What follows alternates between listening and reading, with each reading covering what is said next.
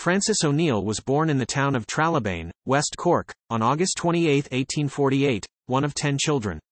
He was fortunate enough that his childhood was spared the horrors of the Great Hunger, but he would witness the scars that this tragedy left upon the land and its people and the pattern of massive emigration it set in motion.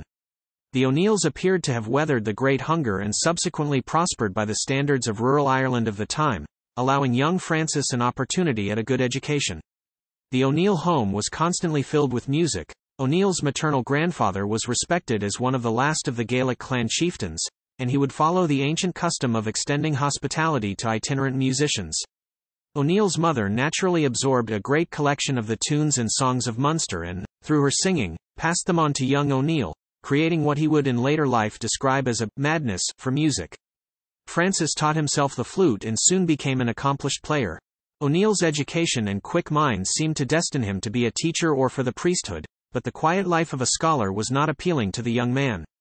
At the age of 16, he ran away to sea, circling the world at least twice and surviving a shipwreck in the South Pacific and a subsequent, Robinson Crusoe, existence. O'Neill left the sea and married a young Irish woman he had met on one of his voyages. He tried ranching in Montana and teaching in Missouri before finally settling in Chicago. In the aftermath of the Great Chicago Fire of 1871, the city of Chicago earned a reputation for lawlessness and corruption.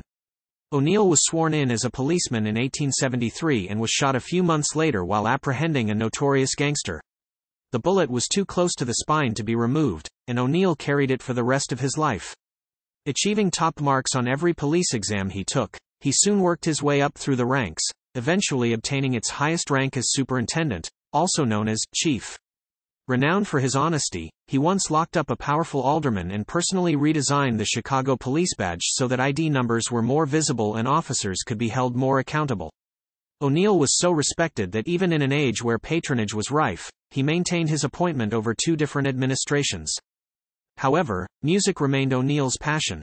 He soon found in the rich Irish immigrant community of Chicago that he had within a few blocks radius access to musicians from across the breadth of Ireland and traditional tunes which were known only locally back home. However, O'Neill saw in this byproduct of the diaspora not only an opportunity but a crisis. As the Irish spread across the world, the oral tradition of Irish music was removed from the close confines of Ireland, and its protective incubator was in peril. O'Neill actively sought out Irish musicians and began collecting tunes, following in his grandfather's footsteps and giving a new connotation to his official title, chief. O'Neill would often sponsor Irish musicians in need of employment for jobs on the Chicago Police Department. A running joke at the time was, What do you call an Irish musician in Chicago? Officer. What do you call a great Irish musician in Chicago? Sergeant. O'Neill had one limitation in his tune collecting.